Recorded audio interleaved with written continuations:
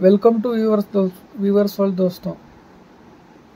आज मैं मलेशिया के जो अक्वारिया के है, वो देखने जा रहा हूँ तो उसका मैं वीडियो बना रहा हूँ। एग्जैक्टली जो अक्वारिया, जो मलेशिया के जो के और पेट्रोनास टावर आपने सुना होगा कि कुछ सालों पहले जो मलेशिया का जो ट्विन टावर था, वो दुनिया का सबसे बड़ा ट्विन टावर हुआ करता था और लेंथियस्ट बिल्डिंग में भी उसका नाम आता था। आज भी ट्विन टावर्स में वर्ल्ड का सबसे बड़ा ट्विन टावर्स है। उसमें जाएँगे तो आपको बहुत सारे घूमने के प्लेसेस मिलेंगे। उसी तरह वहाँ पे एक मशहूर के एल सी सी अखबारिया है। आप देख सकते हैं, जहाँ पे 90 मीटर्स का टनल है उसमें। टोटल वहाँ पे जाएँगे आपको 5000 आपको लैंड क्रिएचर्स मिलेंगे। दो डिफरेंट डिफरेंट टाइप्स के फिशेस रहते हैं। आपको टोटल 5000 आप गिन गिन के थक जाएँगे, लेकिन इसके जो टाइप्स ऑफ़ फिशेस नहीं ख़त्म होंगे। साउथ ईस्ट एशिया का सबसे बड़ा अक्वारिया है ये। अगर आप जा रहे हैं तो आप पेट्रोनास टावर में जाएँगे तो वहाँ पे आप टिकट लेके जा सकते हैं। अगर आप इंडियन रुपीस को कन्वर्ट करके टिकट लेंगे तो इसका प्राइस होगा around two thousand one thousand के समथिंग समथिंग होगा। अगर आप मलेशियन रिंगिट में लेते हैं तो फिफ्टी या सिक्सटी रिंगिट होगा। ये के एल सी सी अखबारिया इतना बड़ा है यहाँ पे total five thousand land creatures है। तो इसको दे सकते हैं देखिए थाउज़ेंड रुपीज़ देना कोई बड़ी बात नहीं, आराम से देख सकते हैं। जब आप जाएँगे तो आप बोलेंगे कि वर्थ है यहाँ पे विज़िट करना।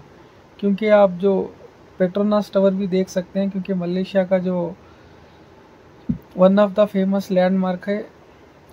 तो फिर आप ये ये देख सकते हैं। इसमें टोटल आप एक्सप्लोर करेंगे तो ये अक्वारिया इसका जो साइज़ है सिक्सटी थाउज़ेंड स्क्वायर फीट का साइज़ है इसमें। ये मलेशिया का नहीं साउथ ईस्ट एशिया का सबसे बड़ा अक्वारिया है।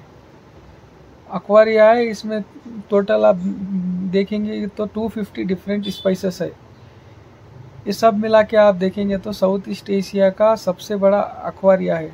अगर आप विज़िट करना चाहते हैं तो जाइए पेट्रोनास टावर में ज़रूर विज़िट कीजिए। अगर आपके साथ छोटे छोटे बच्चे हैं तो बच्चों के लिए बहुत ही अच्छा है। बच्चे बहुत खुश हो जाएँगे देख के। अगर इसी तरह कुछ भी आपका डाउट है, मलेशिया विज़िट करना है, अखबार देखना है तो आप कमेंट में कर सकते हैं। आप कुछ भी रिगार्डिंग मलेशिया ट्रिप के आप पूछिए, मैं आपको कमेंट में आंसर दे दूँगा। इसी वीडियो में मैं आपको मलेशिया के बारे में बताता चलूँ।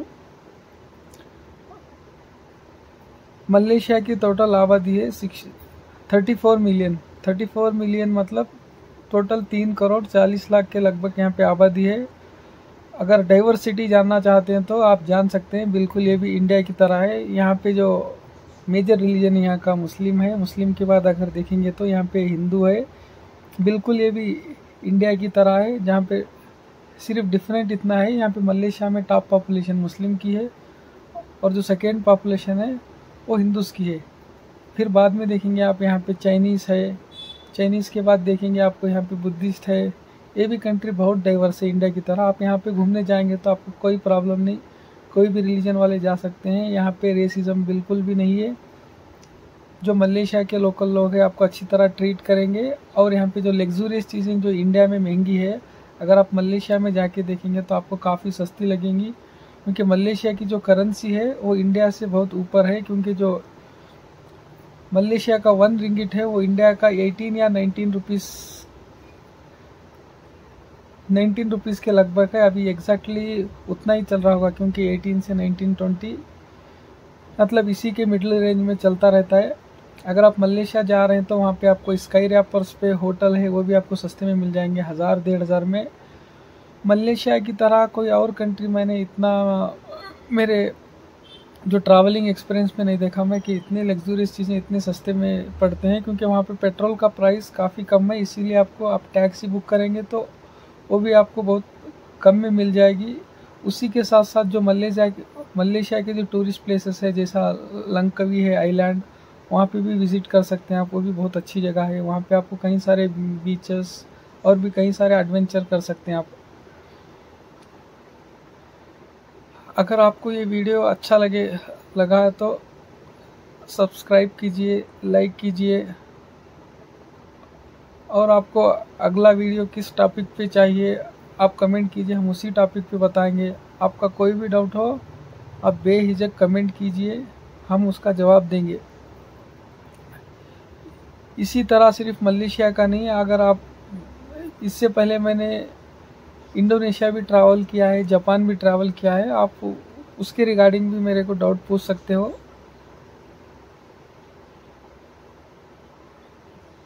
तो ये वीडियो बनाने का मकसद ये है कि आपको ट्रा रिगार्डिंग ट्रैवलिंग में आपको हेल्प कर सकूँ। अगर आप हमें पूछेंगे तो फ़्लाइट टिकट सस्ते में कैसे बुक करना है होटल कहाँ से बुक करना है, कैसा सस्ते में आता है तो हमको उससे भी हेल्प करेंगे। अभी जो वीडियो में नज़र आ रहा है, ये टनल है। ये टनल टोटल 90 मीटर लंबा है। यहाँ पे आप देख सकते हैं ऊपर कितने शार्क है। बहुत सारे लोग ऐसे होंगे जो शार्क को इससे पहले नहीं देखे होंगे। आप देख सकते हैं शार्क शार्क का क्लोज व्यू। तो दोस्तों, ये वीडियो यही तक था। वीडियो अच्छा लगा है तो लाइक कीजिए, सब्सक्राइब कीजिए, शेयर कीजिए। फिर एक बार मैं बोलना चाहता हूँ, अगर कोई भी ट्रैवलिंग रिगार्डिंग डाउट है तो बेहिजक पूछिए। मैं आपको जवाब दूँगा। Thank you for watching